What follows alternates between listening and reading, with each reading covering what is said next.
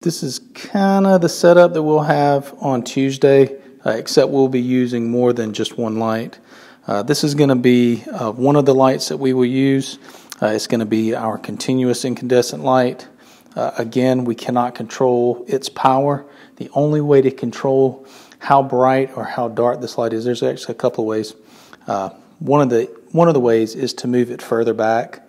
another way is to go in and control it through um, the settings of your camera. These may not be the settings that we actually shoot with, but we will be shooting in manual. Uh, we will be controlling our aperture. Obviously, I will not be shooting at 1250 ISO, but we'll go in and make some changes uh, to this.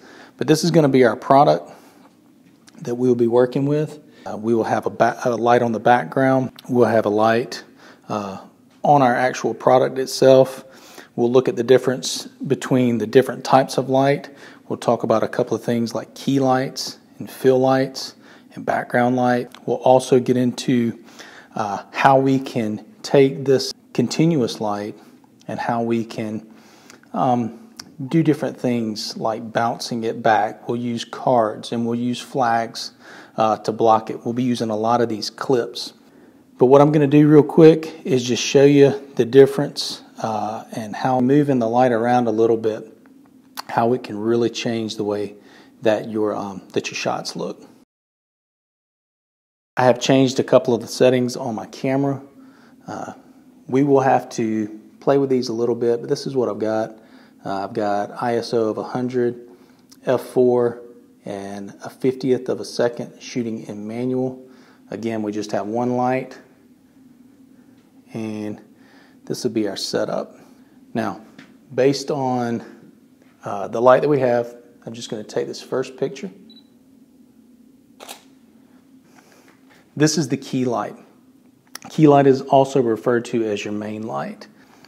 So based on where this light is and how close it is to your subject, this being our camera, the camera that we're shooting, not the camera that we're shooting with, this would be our next shot same settings on the camera, you'll see that the light has changed. Now, both of these shots are too dark.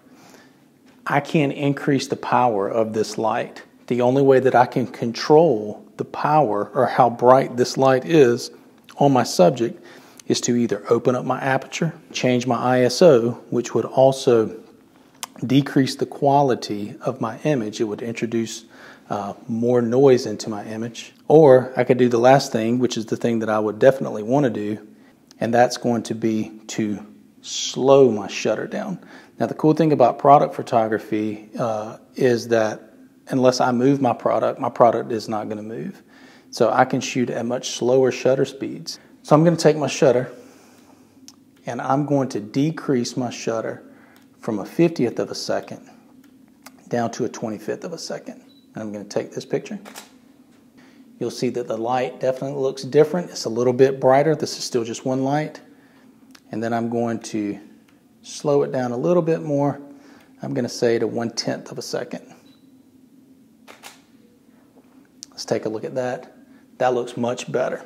So it's much brighter. Now there's still a lot of stuff that we could do with that. We'll be bringing in some different flags and stuff like that, but we'll take a look at that in the next video.